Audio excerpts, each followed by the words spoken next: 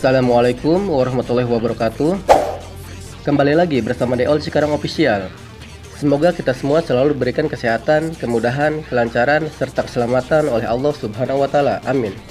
Sebelumnya, kami dari rekan-rekan Deol Cikarang Official mengucapkan Taqabballahu minna wa minkum, syamana wa syamakum, kulu amin wa antum bihair.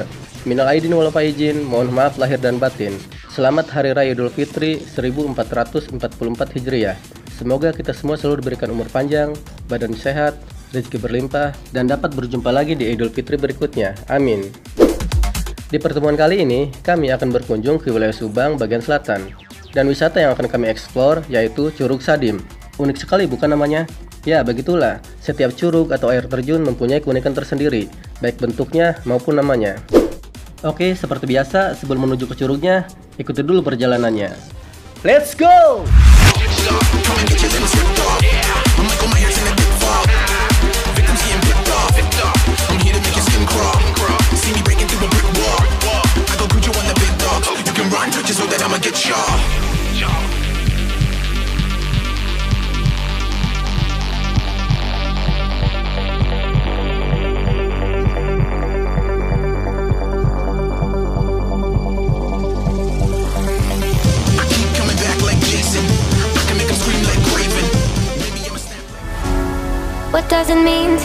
Curug Sadim berada di perkebunan teh Nusantara 8 Ciater. Tepatnya di Dusun Penaruban, Desa Cicadas, Kecamatan Segala Herang, Kabupaten Subang, Jawa Barat. Karena lokasinya yang berada di area perkebunan teh, menjadikan suasana dalam perjalanan menjadi lebih indah. Tentunya bakal menjadi momen yang pas buat acara spot selfie. Oh, Curug Sadi memiliki ketinggian sekitar 10 meter dengan kedalaman sebetis orang dewasa. Pastinya sangat aman buat anak-anak.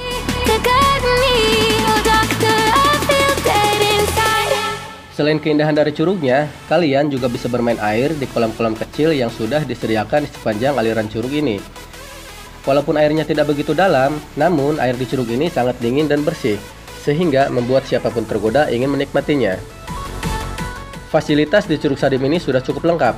Tersedia musola, toilet, ruang ganti, area camping, dan juga banyak warung yang menjual makanan dan minuman yang tersedia di sepanjang aliran curug ini. Untuk harga tiket masuknya juga sangat terjangkau. Kalian hanya cukup membayar Rp15.000 untuk per orangnya, dan parkir Rp5.000 per motor dan Rp10.000 per mobil. Dari pintu masuk menuju tempat parkir tidak jauh, hanya 300 meter atau 2-3 menit perjalanan. Dari tempat parkir, kita bisa menikmati suasana Taman Wisata Curug Sadim ini dengan berjalan kaki kurang lebih 5 menit.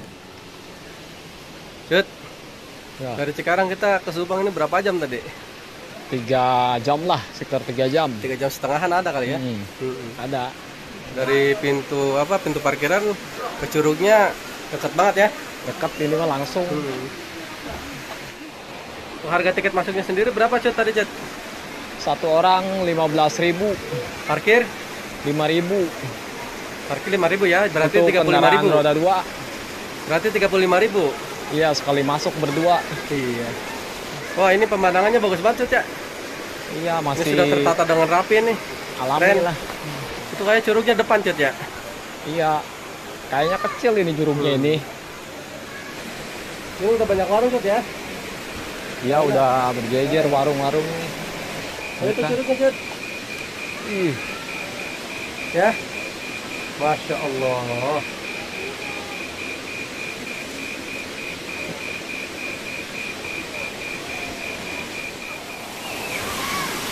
Nah jadi ini seperti ini teman-teman curug sadimnya. Ya curugnya mirip sekali dengan curug Sidulang ya yang ada di Pemakmur Bogor.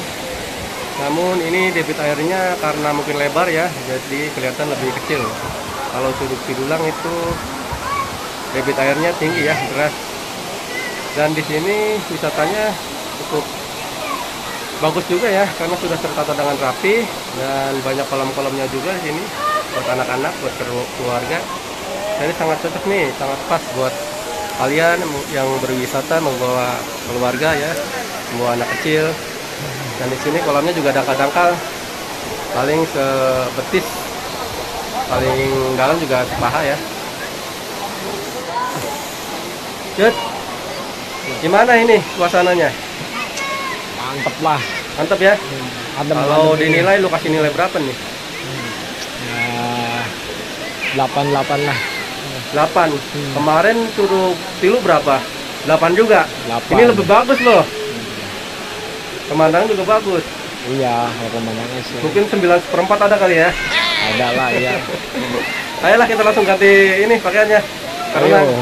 Yuk.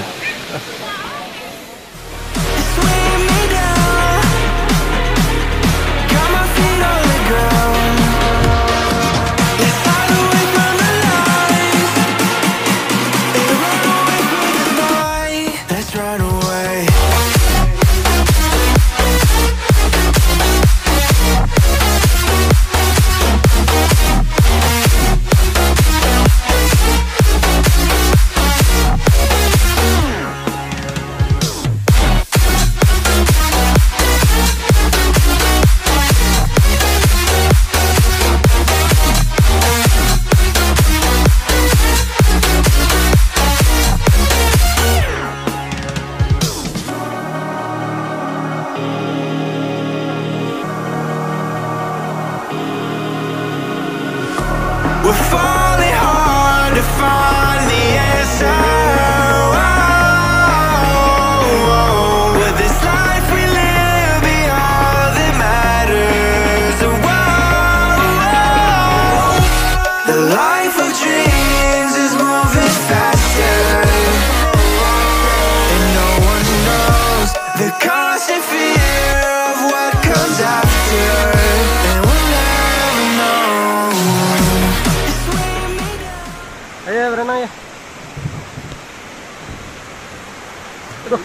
dingin banget ya.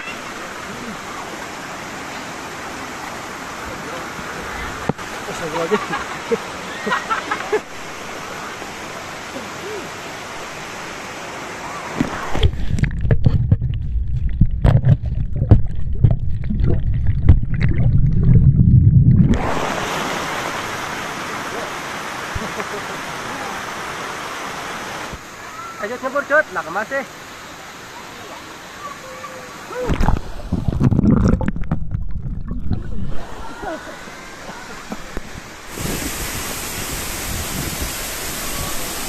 Nah ini dia teman-teman curug tadimnya yang kita ambil dari jarak dekat ya. Dan ini tadi habis gerimis ya, tapi gak apa-apa sih. Katanya walaupun hujan di sini curug ini gak pernah full ya airnya, gak pernah melimpah. Tadi tetap kondusif. Dan walaupun airnya gak ini ya, gak deras, tapi tetap kita gak boleh mandi di bawah persis air terjunnya itu. Karena takutnya dikhawatirkan kan ada batuan yang jatuh dari atas sana ya. Oke, berhubung ini udah mau sore ya, kita mau berenang-berenang sana aja. Yang area buat anak-anak, karena tempatnya lebih luas.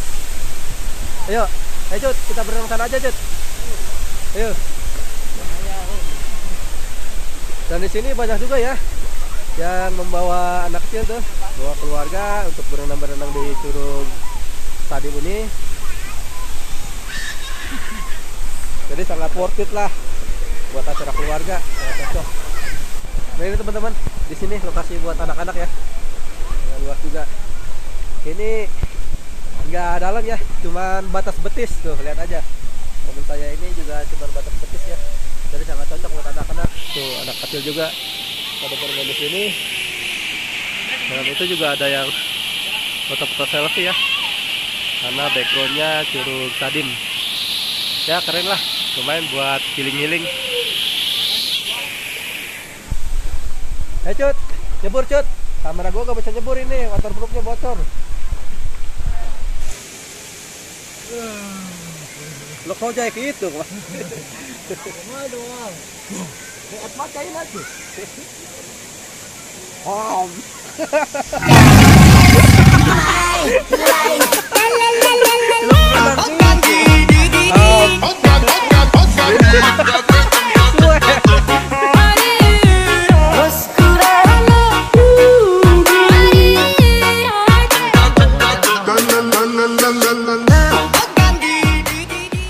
Gimana tadi berenang-berenangnya, Cet? Waduh, dingin banget airnya. Kamu nggak kuat banget dingin ya? Iya, aduh. Gimana sih kita? Hmm. Gimana kalau renang di Curug Cisarua 2 lebih dingin lagi tuh. Apalagi curug ini, curug apa? Curug kembar Batu Layang tuh lebih dingin lagi tuh. Dari puncak. Ntar insya Allah kapan-kapan ke sana dah. Gimana suasana, Cet? Enak suasananya mah masih asri lah alamnya. Dan fasilitasnya udah lumayan lengkap ya. Lumayan Udah tersedia toilet, sama buat area camping juga ada. Dan warung-warung juga ada sini ya. Iya. Di warung tahu nih 24 jam enggak? Mungkin 24 jam kali ya karena ada Kayaknya 24 jam sih. Soalnya kan Hmm. banyak yang camping-camping kan. Oh, cocok ini buat acara keluarga sini ya karena kolam-kolamnya dangka-dangka ya sebatas betis